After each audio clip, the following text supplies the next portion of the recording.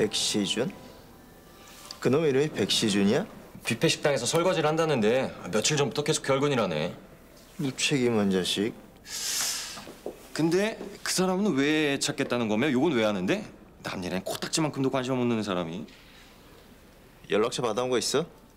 뭐 하려고? 너무 깊이 하려고 하지 마. 연주자의 사생활이야.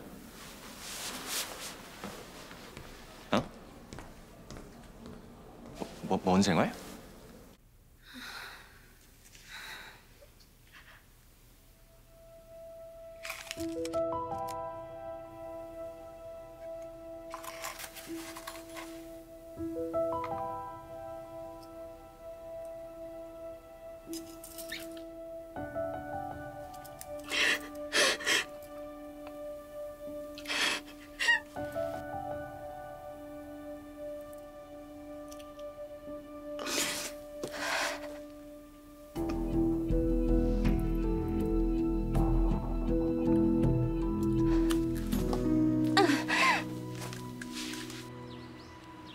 쳤어 여진아 씨? 지금 여기가 어디라고 발을 들여? 여진아 씨 때문에 우리 숍이 지금 어떻게 되는 줄이나 알아? 직원이 꼬리 쳐서 손님 애인이 죽었다고 난리가 났다고! 꼬리를 치다뇨. 그런 거 아니에요. 매니저님 아시잖아요. 저 그날 정말 그 손님한테 물 튀기는 실수 그거 하나 잘못한 거. 그 남자가 일방적으로 저한테 됐으니까 당장 나가.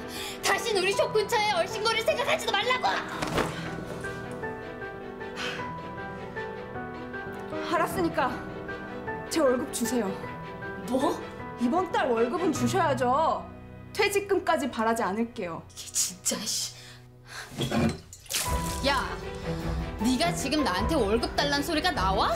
손해배상 청구 안 한 걸 다행으로 알아. 내가 뭘 잘못했는데! 월급 주세요. 안 그럼 여기서 한 발짝도 못 나가. 이 진짜 야 사람 대접해줄 때 사람답게 굴어 꺼져 여기 얘 끌어내 내 돈 받기 전에 못 나가. 내가 뭘 잘못했는데 내돈 내놔! 내돈 내놔!